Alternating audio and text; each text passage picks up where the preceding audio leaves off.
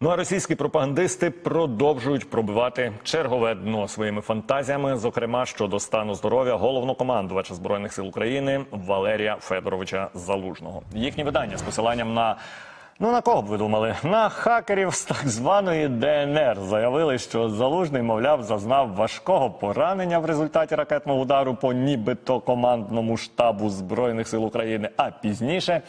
Швидше за все, топові пропагандистські віщуни і екстрасенси почали незрозуміло звідки отримувати інформацію про те, що залужний, начебто, отримав тяжку травму голови, і йому вже зробили трепанацію черепа. І за прогнозами російських оцих пропагандистів, головком ЗСУ буде жити, що їх вочевидь засмучує. Однак, що їх вочевидь тішить, виконувати свою роботу він буцімто не зможе. Між тим, хочемо окремо звернути вашу увагу на те, що російські пропагандисти посилаються ще раз наголошу на хакерів з так званої ДНР.